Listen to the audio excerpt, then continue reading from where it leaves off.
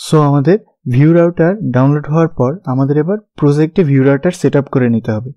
তো সেট করার জন্য প্রথমে আমরা এই, আমাদের প্রজেক্টে মেইন জেস ফাইলে চলে যাব। চলে গিয়ে প্রথমে হচ্ছে আমরা ভিউ রাউটারটা ইম্পোর্ট করে নিব। Import view router from view router এবং সেটা আমাদের প্রজেক্টে এভাবে ভিউ ইউজ দিয়ে ভিউ রাউটার হিসেবে ইউজ করা লাগবে। এখন আমাদের প্রজেক্টে কোনো রাউট নেই। সো আমাদের প্রথমে কিছু রাউট বানিয়ে নেওয়া লাগবে যে কোন রাউটের জন্য কি হবে। তো আমি এর জন্য এই ফাইলেই রাউট ডিক্লেয়ার না করে আলাদা একটা ফোল্ডার করে করা ভালো মনে করি। তো প্রথমেই রাউটার নামে একটা ফোল্ডার বানিয়ে নিলাম। সেটার মধ্যে ইন্ডেক্স ডট জেএস নামে একটি ফাইল বানালাম।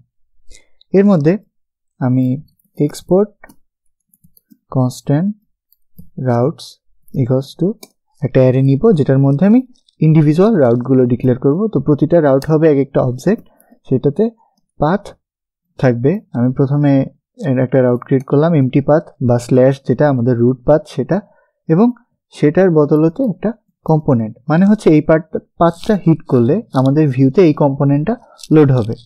সো আমার এখনও এই রাউটের জন্য কোনো কম্পোনেন্ট বানানো হয়নি সো আমি আমার কম্পোনেন্টস ফোল্ডারের মধ্যে একটা ডামি কম্পোনেন্ট বানিয়ে নেব। কম্পোনেন্টের নাম দিলাম হ্যালো ডট ভিউ এটাতে তেমন কিছু করব না জাস্ট একটা এইচ থ্রি দিলাম। এটা টেক্সট থাকবে হ্যালো রাউটার সেভ দিলাম। এখন সেটা ইউজ করার জন্য এই ফাইলে সেটা ইম্পোর্ট করে নিব হ্যালো ফ্রম আমি এক ফোল্ডার আগে যাওয়া লাগবে সো ডট ডট স্ল্যাশ দিয়ে কম্পোনেন্ট স্ল্যাশ হ্যালো এবং এখানে হ্যালো সো আমি রাউটস বানিয়ে নিলাম। এবার আমার সেই রাউটগুলো এখানে ব্যবহার করা লাগবে। সো প্রথমে রাউটস ফোল্ডার থেকে যেই রাউটগুলো ডিক্লেয়ার করলাম, সেগুলো আমি নিয়ে আসব। যেহেতু আমি কনস্ট্যান্ট ডিক্লেয়ার করেছি নাম দিয়ে, সেহেতু আমি কার্লি ব্রেসের ভেতরে দিলাম। From dot slash router slash index so আমার রাউটগুলো আমি নিয়ে আসলাম। এবার হচ্ছে আমি একটা রাউটার অবজেক্ট বা রাউটার ইনস্ট্যান্স ক্রিয়েট করব।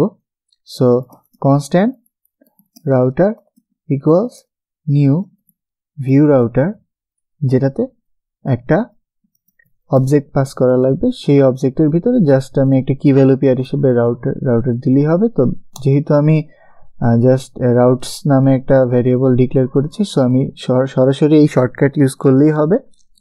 এবং শেষমেশ আমি যে অ্যাপ সেটার মধ্যে এই রাউটার নামে যেই আমি রাউটের ইনস্ট্যান্সটা বানালাম, সেটা পাস পাস করে দিলেই হবে। আমাদের অ্যাপ্লিকেশনে রাউট সেট আপ করা হয়ে যাবে।